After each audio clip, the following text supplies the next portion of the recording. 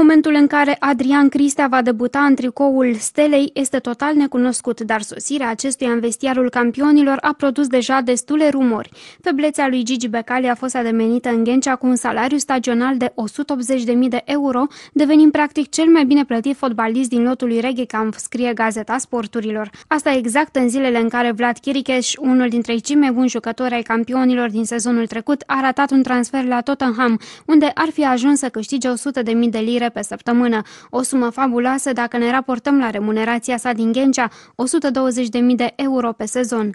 Mai mult, fundașul central nici măcar nu poate intra în top 5 cel mai bine plătit jucător de la Steaua. În primii trei, pe lângă Cristea deja menționat, mai apar Zucala și Bourceanu. De menționat mai este și faptul că, iată, încet în cei de la Steaua sar tot mai des peste plafonul salarial impus de Becali în urmă cu ceva vreme, acela de 120.000 de euro pe sezon.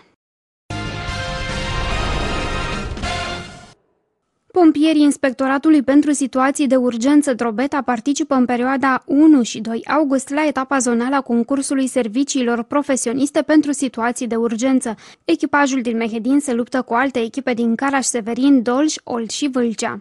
Au avut de parcurs uh, patru probe practice, scara de fereastră, pista cu obstacole pe 100 de metri, ștafeta 400 de metri și realizarea dispozitivului de intervenție la motopompă. Până acum, pompierii mehedințeni se află pe primul loc. În anii trecuți s-au clasat pe locul 9 pe țară la această competiție.